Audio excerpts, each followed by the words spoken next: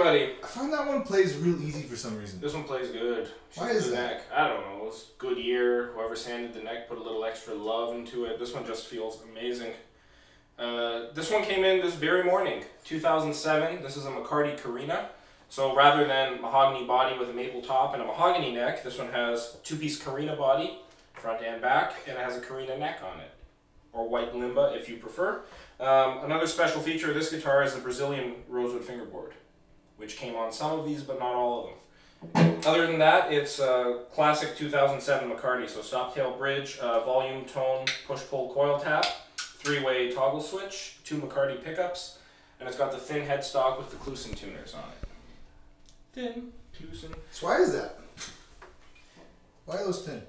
The reason they were thin is they were trying to get more of a vintage sound out of the guitars, right? So they looked at a Custom 22, which had a thick headstock and locking tuners, and a very shallow headstock angle, and they looked at an old Les Paul, which had a thin headstock and Klusons and a steeper angle. Hmm, they started doing some. They started doing some this, and then next thing you know, they're putting switches up here.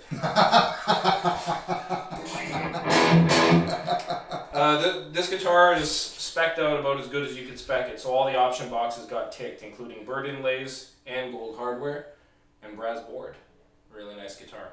Uh, sounds great, plays great, super super comfortable neck shape. Like when I think of a great wide fat neck carve, that's what this is.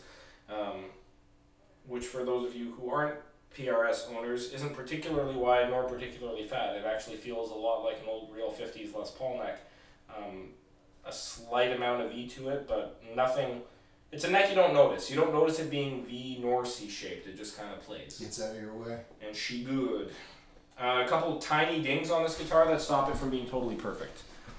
Got a little one there, got a little one there, but other than that, I can't really find anything wrong with it. You know, there's some light pick scratches on the pick on the pickup covers. Really, no fretwear to speak of. I mean, these frets are like an easy nine out of ten condition.